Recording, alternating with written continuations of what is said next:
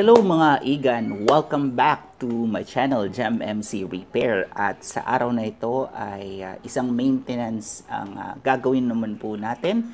At uh, yan po ay uh, kung paano linisin ang ating panggilid. Importante po ito lalong-lalo na sa mga merong scooter na katulad ko. At isa po sa mga maintenance na kailangan nating gagawin ay ang paglinis or ang uh, paglilinis ng ating uh, CVT or tinatawag na panggilid. Uh, shout out po pala muna kay Raymark, uh, Marcelo, Popsi, maraming maraming salamat sa suporta sa aking channel at sa mga hindi pa nakakapag-subscribe, please don't forget to subscribe or to click the notification button at subscribe to my channel para updated pa po kayo sa mga videos na aking nilalabas. Okay? So tara, samahan nyo ako at uh, tuturuan ko po kayo kung paano linisin ang inyong CVT. Let's go mga paps!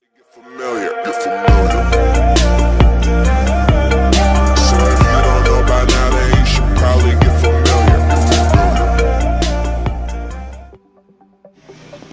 Okay, so ang una po nating gagawin ay tanggalin itong uh, air filter cover. At meron po itong isa, dalawa, tatlo, apat,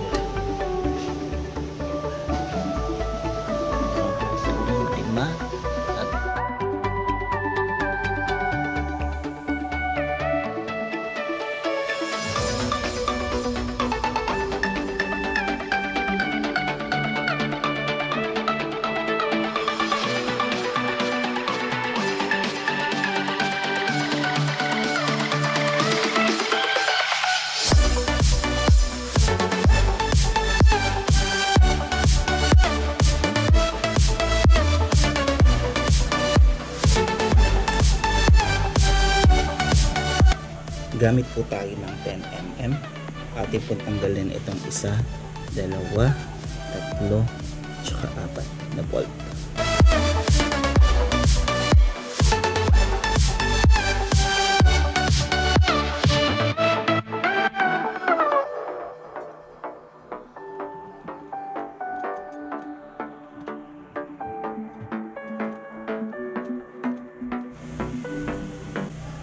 Dahil po tayo ng 8mm. Tatanggalin po natin itong isa, dalawa, tatlo, apat, lima, anim, tatlo,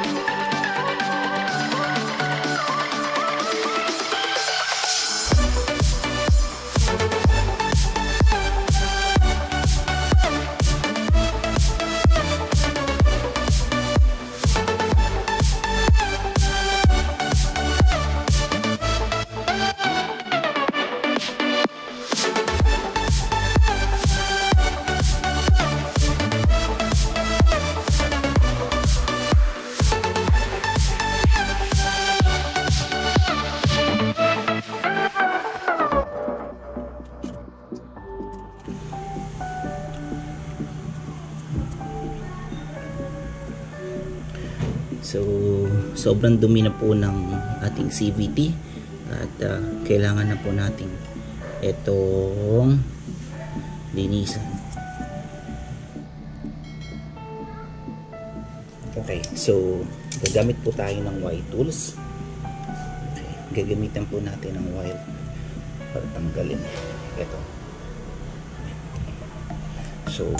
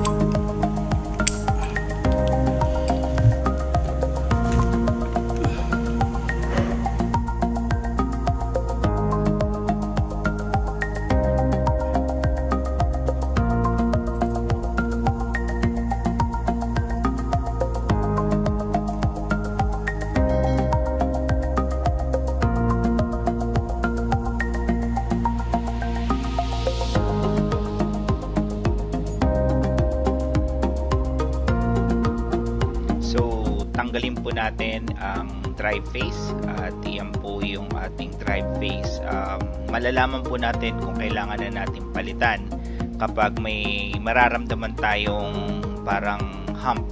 Okay, pero sa ngayon makinis pa naman po yung ating drive face kaya hindi po natin kailangan palitan. So, kaya um, okay lang muna sa ngayon. Uh, belt natin okay din naman. Uh, kapapalit ko lang yan. Kaya hindi rin natin kailangan palitan yung belt. At uh, meron po tayong washer. Okay. Uh, at pag uh, tatanggalin po natin ang ating pulley, make sure po na nakahawak tayo dun sa backplate para hindi po malaglag yung ating mga bola. Ayan. Yan po ay washer. Okay, huwag po nating iwawala yan. Okay. At uh, meron din pong washer tayo sa likod. Okay, yan po ay nakakabit dyan sa likod. At huwag din po nating iwawala yan kasi importante din po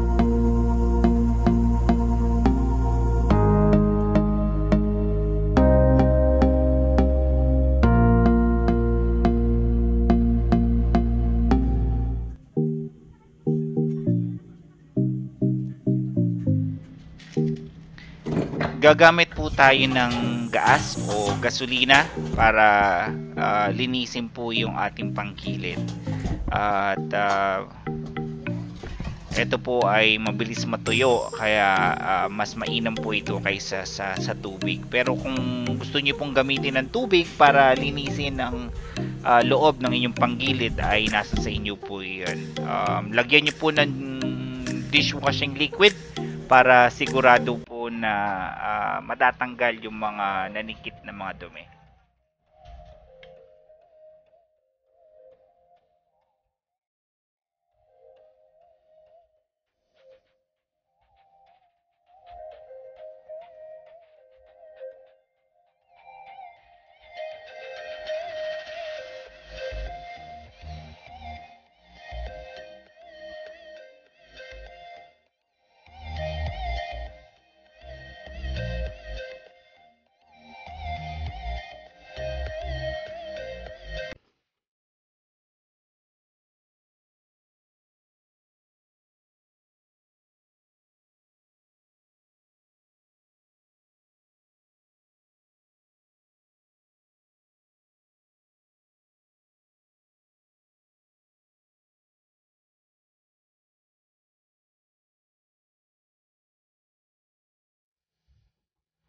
So, yan.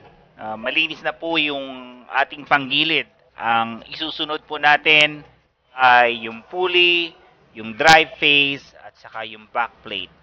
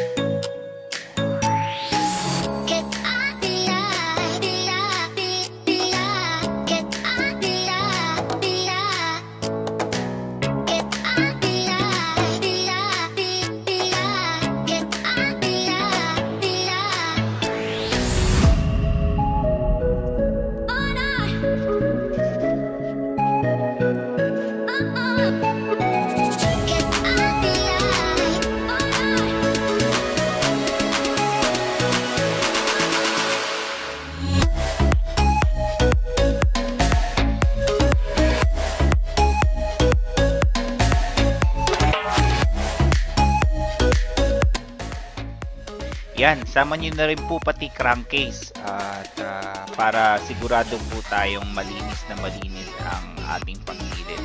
Sinabay ko na rin po pati yung clutch belt. Uh, kanina nakita nyo sa aking video at yan, malinis na po yung ating crankcase.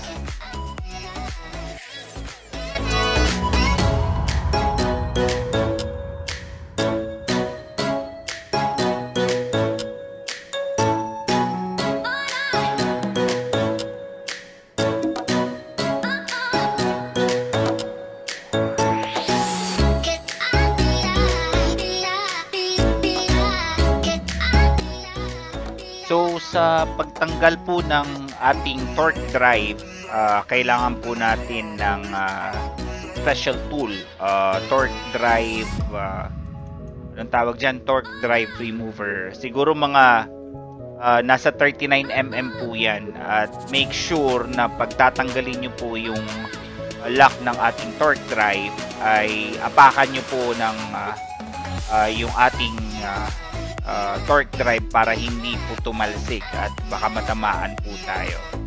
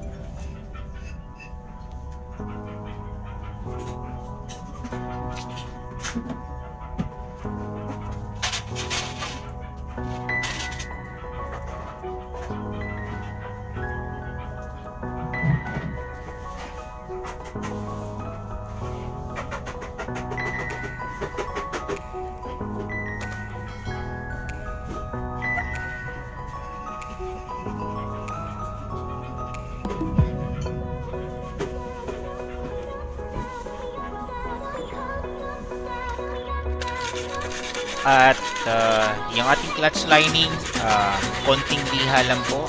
Uh, at uh, siguraduhin po natin na matanggal lang yung dumi ng ating clutch lining bago natin ito ikabit. Uh, wag na wag nyo pong lalagyan ng ano tawag dyan, ng uh, ng guhit itong clutch lining. Marami po akong nakikita sa YouTube na uh, nilalagari nila at nilalagyan nila ng guhit, yan po ay wag na wag ang gagawin. Okay?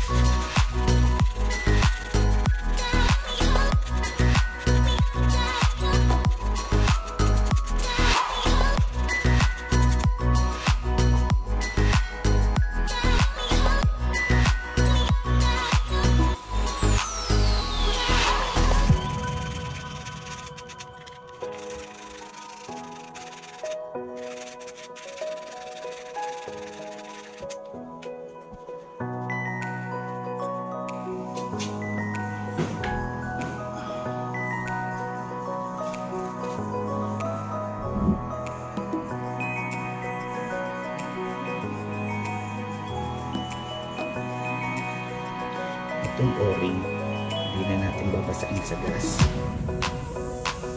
punas-punas lang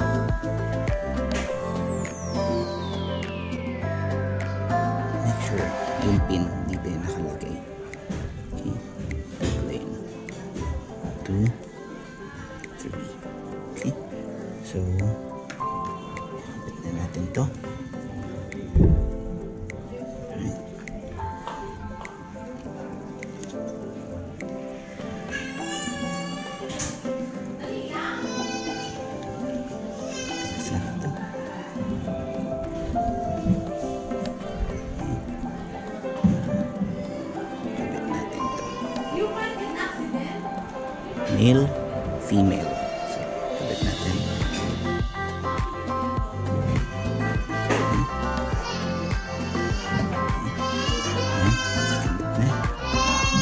Then, so, make sure in pin.